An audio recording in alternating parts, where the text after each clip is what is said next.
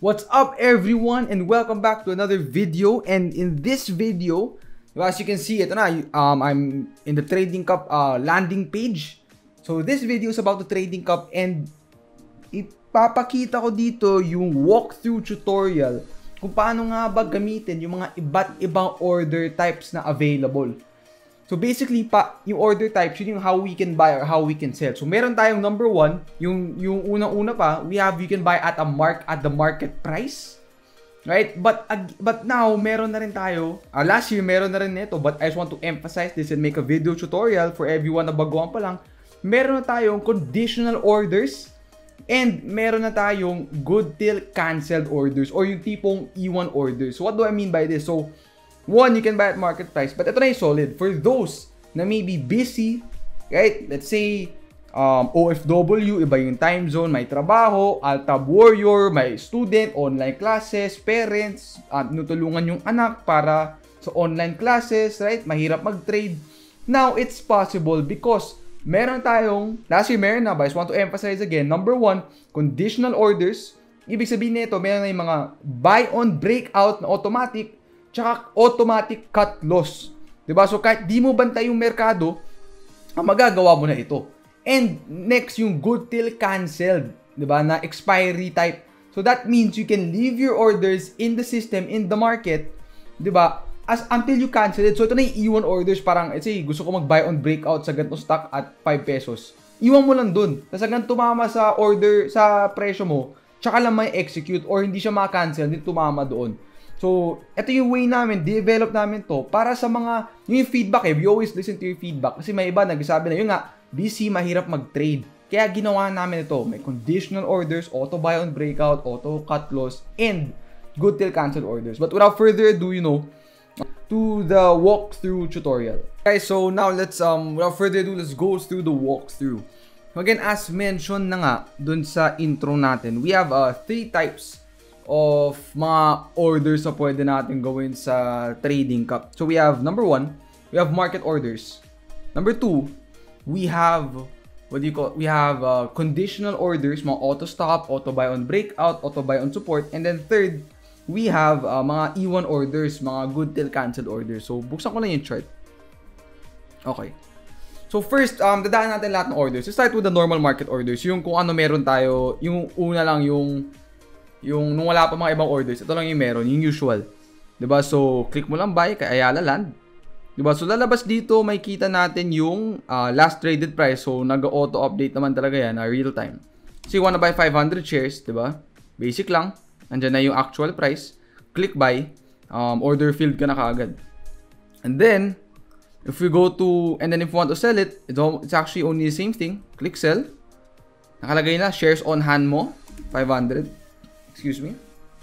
And then, pwede kang maglagay na remarks. Pogi. And then, click sell. So, it's basically it. Um, yun. Benta na. If you look at your records, yan. May loss ka na kay Ayala Land. So, what else can you actually do dun sa, dito sa tab natin ng limit orders?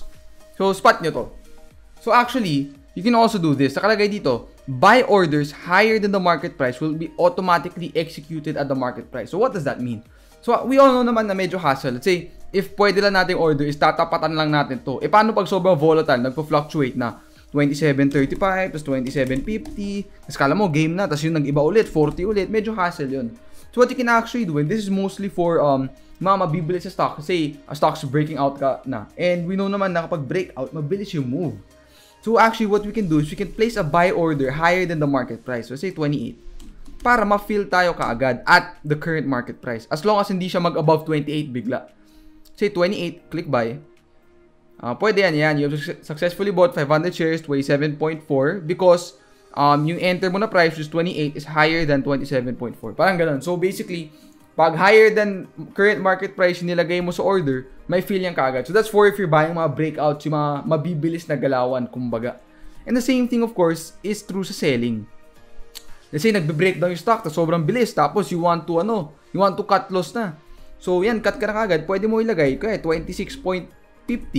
Right? Tapos lagay mo 500. Diba? So, now, given na ganyan, diba? Tapos limit order.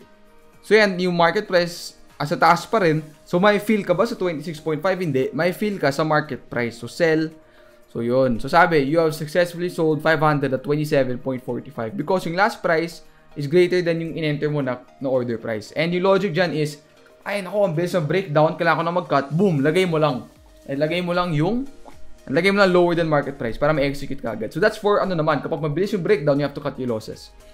Now, ito naman yung common natin na lagi naririnig na, ay, ano, di muna ako sali kasi, ano, um, yung nga, may full-time job ako, baka di ako makatrade sa work, or, or may anak ako, hinahandle ko yung online class, or or may work ako, hirap maging alta warrior. That's why last year, we actually implemented yung conditional orders or yung buy on breakout na automatic, cut loss na automatic, tsaka yung um, buy on support na automatic. So all you have to do is choose a different stock. Kasi you wanna buy nickel. So buksan na natin si nickel sa chart natin. Oops! Trading cup. Close natin to. So let's go to nickel. Open the bid and ask. Yan. So we have third, so yan yung current ano natin, no presyo. Okay. So let's say we want to buy nickel. Right? So ano tayo? Let's say, oh, sorry, nickel. So the first thing you do is click buy. Then click conditional. Na conditional orders yan. Orders will only be executed when market price reaches the order price set. Say you want to buy 5,000 shares of nickel, but you want to buy it um, at 3.31. Diba? Then, yun lang. Click, nakalagay, auto buy on support. Click buy. Yun, nakalagay, your order will be posted or executed when your bidder ask price is met. And then if you go to pending orders, you'll see here yan. Meron tayong conditional order sa 3.31. So, antayin na natin na tumama doon yung market price para ma-fill tayo. So, ngayon, um, even if, ano ko na pinakita ko, hindi siya buy on breakout. Baka umaba yung video pag inantay ko kasi mag-breakout pa to si Nickel eh. Pero, basically, um, pwede yan. Let's say, nilagay ko na 3.31 auto buy on support. Pero pwede rin na auto buy on breakout. Gusto ko lang kasi makita na mag-execute siya. So, pwedeng 3.4 ilagay mo or 3.5. Same thing, auto-execute siya. So, ngayon, let's let's take a look at a different stock naman. Say now. Ngayon, maglagay tayo ng auto cut loss. So, see now. Okay, current price. Diba? 2 point what? Oh, buy. 2.24. So, teka. Sana may tumama ng 2.25 para mas madali example. Let's see if we can choose another stock. Let's say MM. Current price 3.06. Ito, perfect. Let's say you wanna buy, ano na lang, CMM, di ba? Say, bumili na tayo ng MM. So, MM. Very Mart. Come on, base natin. So, 5,000. Buy. Okay, so bumili lang tayo. But now, let's say we want to set an auto cut. Ano gagawin natin? So, gagawin natin is, again, now we click sell, and then we see ilang shares meron tayo, we do 5,000. And then we go to conditional orders. And ito na yung malupit ngayon. So not only can you set auto cut loss levels, but you can also set auto target price levels or target profit. So let's say 3.07, tas auto cut to gusto ko 3.05. Then click sell. So yan, same thing lalabas dito. Ngayon yung presyo 3.06. So you have to so tingnan natin ano una ma-hit, yung 3.07 ba o yung 3.05. So ngayon, hindi lang siya ano, dalawang order sa point set mo. Pagkabili mo, pag meron ka na, pwede ka na mag-set ng auto cut, pwede ka mag-set ng auto target profit. So ngayon, literal, pwede mo na iiwan, parang antayin mo na lang. Okay, let's see what will happen first na lang. So yung conditional orders, talaga yung ano, game changer para sa mga taong may work or OFW, OFW, different time zone, or kahit estudyante, may online class, hindi mo bantayan yung merkado, or parent, may anak, tutulungan mag-online class. So now, through this, pwede mo na gawin parang, okay, pero of course guys, we can only set orders during market hours, no? 9.30 to 1.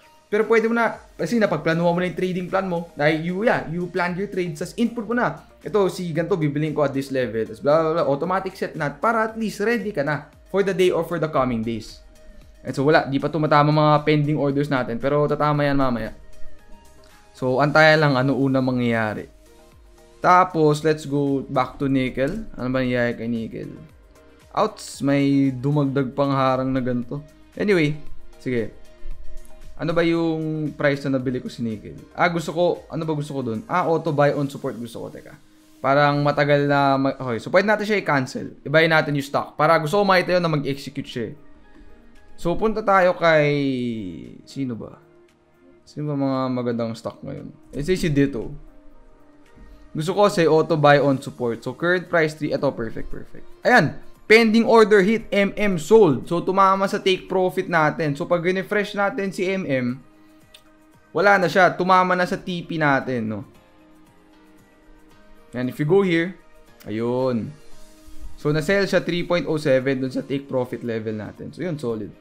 And then, so ito, gamit natin example si dito sa automatic uh, buy on, sa auto orders na pang buy. So, buy natin, 3.34. Gusto ko, 3.33. Tapos, 5,000 shares ulit. So, ito na yung conditional orders. Yun. So, antayin natin ma-fill. Anyway, So, basically, yun na yun. That's um, conditional orders. Auto buy on. Siyempre, di ko na napakita yung buy on breakout kasi matagal nga mag-antay na mag-breakout yung stock. But, in essence, pwede, ginawa ko na lang auto buy on support para mas madali. But, you can also do that yung auto buy on breakout. So, say you wanna buy dito, breakout of 3.37, lagay mo lang sa conditional order mo. Diba, lagay mo 3.37. So, pwede rin ganyan. Right, it's 5,000. O, ito ba yung malupit? Pwede ka mag-set ng... Teka lang. Ang bagal lang aking laptop. Ay, ah, sumagad na pala ako sa dito. So, wait. So, say 2,000 shares. Yun. Kasi may mga rules tayo sa allocation eh. So, actually, pwede mo rin gawin. Ito, teka. Ayan, yun know, dalawang order. So, meron akong isang auto buy on support, meron akong isang auto buy on breakout. So, una na lang kung ano una mangyari. Diba? So, yun yung solid, right?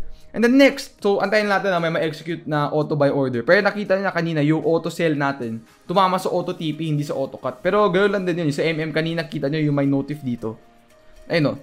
Pending order, hit, MM, sold, 5, ano, 5,000 shares at 3.07. Yung last order type naman is what you call um, GTC or good till canceled orders. Kasi actually, if you go to conditional, again, let's um, use MM as an example again. Now, if you go to conditional, we'll see at the bottom, meron tayong end of day, meron order expiry the end of day, tsaka until I cancel. So, if you go back to MM here, so the bid and ask. So, current price is 3.07. To, set tayo ng auto. Okay, bisa natin. Bibili mo, kasi bibilin ko muna si MM, 5,000. Buy. Tapos, ay mali. You want to sell MM, conditional, 5,000 at uh, 3.06. So, di ako mag-set ang target price. So, guys, yung pwede nyo gawin is, pwede nyo choose until I cancel. So, set ko lang yung order. What does until I cancel mean? So, as you can see, iba yung order expiry, no? Ito, end of day, end of day, no expiry. So, yung until I cancel means the order will stay active in the system until i-cancel mo dito sa pending orders tab. So, itong mga end of day order, kapag hindi yan na-execute, hindi tumama yung presyo sa mga or sa sinet mo, right? And naiwan lang siya dyan. At the end of the day, yung aftermarket close, mawawala yan, ma-auto-cancel. But, if you choose ito, yung no expiration, yung mangyayari is, dyan lang siya hanggang tumama. So, yung maganda ngayon dito is, um, not only can you set conditional orders para mag-auto buy, auto buy, you don't have to do it every day. Diba? Say busy ka talaga, you can actually do it every other day. Parang iset mo lang orders mo, lagay mo, i-click mo, until I cancel para nandun lang siya hanggang tumama sa parameters mo. So this way, hindi mo talaga need masyado bantayan. If hindi kaya, silip-silip lang. Pero basta andun yung orders mo, auto-execute yan. So that's the advantages ngayon. So again, if you are an OFW na iba yung time zone, if you are a work a person who's working and has a hard time doing alt tab or busy busy ka lang kahit work from home, there's an option you can do. It will take you probably 15 minutes of your time to set it in the morning. Basta may trading plan ka na ginawa the night before. You're a student having online classes and you don't know how to balance it. You can use conditional orders. Tapos, lagyan mo pa ng G ng until I cancel para hindi mawala. Or if you're ano lang, if you're an alt-tab warrior, ano ba, ayun, you're a parent na tutulungan mo yung anak mo sa online class, uh, that's one thing you can do. So, ayaw tumama no sa AutoCAD natin, teka. Sana naman may tumama para mapakita ko na sa inyo.